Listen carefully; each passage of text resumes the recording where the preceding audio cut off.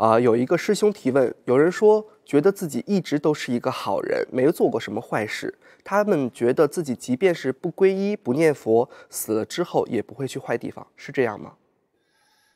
嗯，这个得要看他的前世啊啊！如果人呢只只有这一时的话，那就是这一生当中啊，他确实是没有造过什么罪啊。那这样子的话，他不会躲什么可怕的地方，比如说地狱恶鬼的不会多。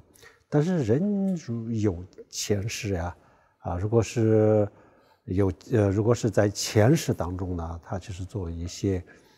罪的话，那虽然他这一世没有做什么的，这个国宝也会有的。所以呢，前世的这个国宝成熟的时候呢，他也有可能有一些，呃，比如说地狱恶鬼啊，那这样子的这个是有可能的啊。所以这个是我觉得你只是看这一世啊，因为这一世我没有做造罪，所以我不需要去做什么忏悔啊。